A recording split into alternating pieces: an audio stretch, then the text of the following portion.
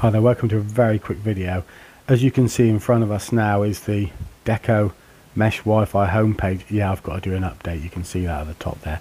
But let's just say you've got a house full of people using the Wi-Fi for gaming, for streaming, maybe for working at home as well. How do you prioritize who gets the priority when using these devices? Well, first of all, bottom right hand corner where you've got the nine little blocks there, we're going to click on that first of all and then on here you're into the router settings. But if you scroll down you might have missed this scroll down the page there. The right hand side there QoS that means quality of service.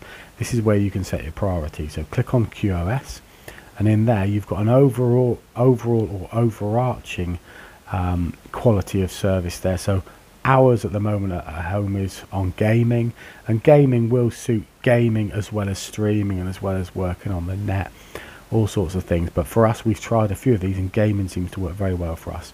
And this is where we might have multiple people, multiple people drawing on the internet at the same time. What you can also do is at the very bottom of the screen there, you can see you can set certain devices to be high priority. So, for example, if you're having online meetings at home and you need that to be a priority over, say, someone who might be streaming elsewhere in the household, you can set that as being a high priority device.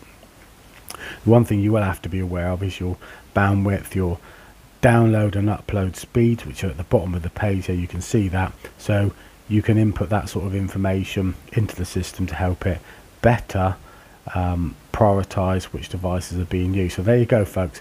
Very quick. This is called Quality of Service or QoS. Have a play with it. Let me know how you get on.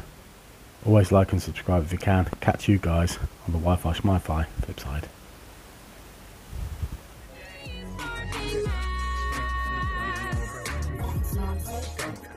I couldn't have said it better myself.